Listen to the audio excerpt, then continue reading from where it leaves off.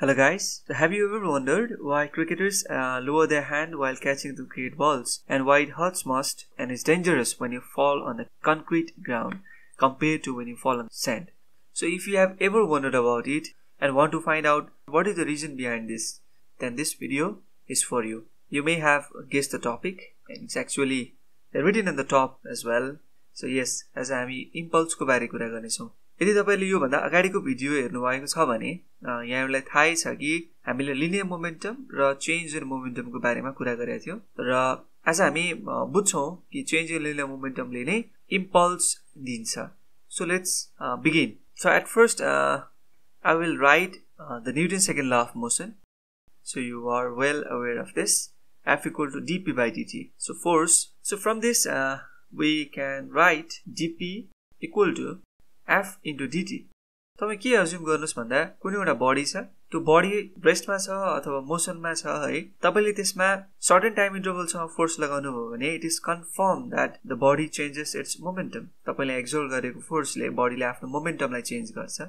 So force causes the momentum to change and if you apply the force from time t one to t two and uh, if the change if the if the linear momentum changes from p1 to p2 initially it was p1 and it changed to P2 as you applied the force on the body. So let's integrate uh, both sides of this equation. So here the integration limits are P1 and P2 and on the right hand side the integration limit is T1 to T2.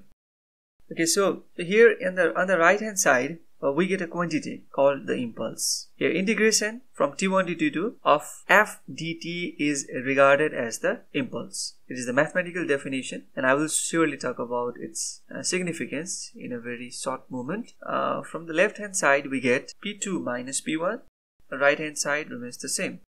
So here P2 minus P1 is the change in linear momentum. Here I have uh, used the simple rule of integration. Okay, so here uh, we see that uh, the impulse on the right hand side is given by the change in linear momentum. Change in linear momentum के दिँदो रहेछ impulse दिँदो रहेछ र यो F भन्ने फोर्सलाई जसले चाहिँ मोमेन्टमलाई चेन्ज गर्यो त्यसलाई हामी इम्पल्सिभ फोर्स पनि भन्छौँ। तपाईँले क्रिकेट म्याचमा बलरले चाहिँ सपोज एउटा बल थ्रो गर्यो र ब्याट्सम्यानले त्यसलाई हिट गर्छ। And the force that the bat provides on the ball is the impulsive force of which changes its momentum so impulse is equal to the change in linear momentum to be more precise impulse of a force is measure by the change in linear momentum produce by the force फोर्सले कति change गर्छ linear मोमेन्टमलाई त्यसको मेजरलाई नै हामी के भन्छौँ?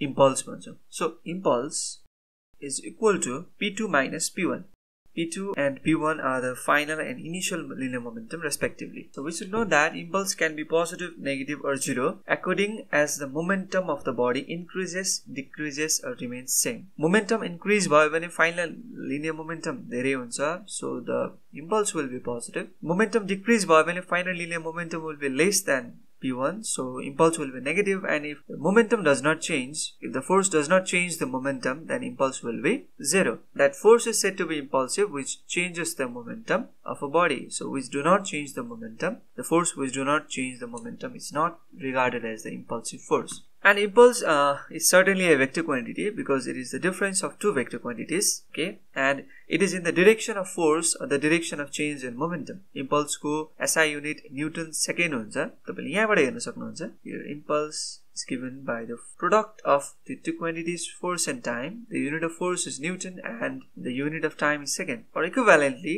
uh, the SI unit of impulse is kg meter per second because it is the change in linear momentum. Newton second and kg meter per second uh, both the same things. Yeah you can try that. So let's uh, plot a graph between the impulsive force and time. So if you take uh, the axis of force to be in y direction and the axis of time to be in uh, x direction and consider this to be origin the time uh, variation of force is given by this curve okay so force here changes with the time. Impulsive force changes with the time. It was initially 0 at time t1 and finally it came to 0 at time t2 and between this time it has increased and decreased over a time span. And at this point the impulsive force is maximum. So this is the uh, variation of force with the time. तर धेरै केसेसमा हामीलाई force टाइमसँग कसरी change भइरहेको छ भनेर थाहा नहुन सक्छ. But we do know magnitude of the average force okay and duration of the collision हामीलाई ड्युरेसन अफ द कोलिजन थाहा हुन सक्छ र एभरेज फोर्सको म्याग्निट्युड थाहा हुन सक्छ. And we may not know the nature of the variation of force with the time त्यसैले हामी इम्पल्सलाई अर्को तरिकाले पनि लेख्न सक्छौँ। And I will write so I will be equal to F average times del t so जब हामीलाई एभरेज फोर्स थाहा छ र टाइम बिट्विन द कोलिजन थाहा छ then we can write this relation for impulse and we can now modify the graph as follows one more thing In this graph, the impulse is given by the area between the curve of f and t. That is, in this graph, this area gives the impulse. And in this case, we know the variation, nature of variation of f with t. We are talking about another case in which we do not know the variation, uh, nature of variation of f with t, and we take the average force so let's uh, let's draw the graph for that case so if you take this as origin and this axis is the axis of time and this axis is the axis of force and if we know the average force del t is simply the time variation or time interval for which the force is applied on a body so this is the nature of the curve between the average force and the, the,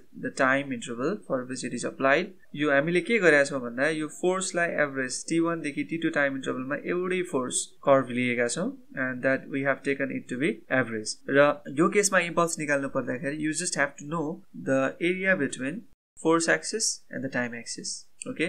दुइटै कर्भले एउटै expression for the impulse दिन्छन् so अब हामी हामीले फर्स्टमा राखेको क्वेसनलाई discuss गरौँ। क्रिकेटरले बल क्याच गर्दा किन आफ्नो हातलाई तल पार्छन् while still still the ball is in motion तर मोसनमा ल्याउँदै ल्याउँदै पनि किन धेरै बेर समय लगाउँछन् धेरै समय लगाउँछन् ह्यान्डलाई लोवर गर्दै त्यो बललाई इभेन्चुअली रेस्टमा ल्याउनका लागि you might have found the answer so let's use this expression I equal to F average times del T and I simply given by the change in momentum so del P equal to F average times del T so यहाँ हेर्नुहोस्. बलरले catch के अरे cricket बललाई instantly catch गरे पनि अथवा धेरै समयसम्म लगाएर क्याच गरे पनि in both the cases change in momentum or linear momentum is the same in what parameter do do the cricketer make the change by lowering in the lowering their hand so change in linear momentum constant हुन्छ भने हामी यसलाई अहिलेलाई ignore गरौँ. So we just focus on del t the time interval for which the force is exerted by the ball or force is applied by the cricketer who catches the ball. So time interval के देखियो यहाँ force average force के देखियो यहाँ inversely proportional to the time interval धेरै time interval लगायौँ हामीले। त्यो बललाई रेस्टमा ल्याउनलाई भने force exerted by the ball will be less थोरै टाइम इन्टरभलमै हामीले बललाई रेस्टमा लगाइ ल्यायौँ भने the force exerted by the ball will be more and it hurts quite more र क्रिकेटरको फिस्टमा हातमा चोटपटक पनि लाग्न सक्छ। So at this time the time of impact plays the role so अरू कुरा पनि जस्तै ट्रिटमा हाम फाल्दाखेरि किन it is dangerous compare to than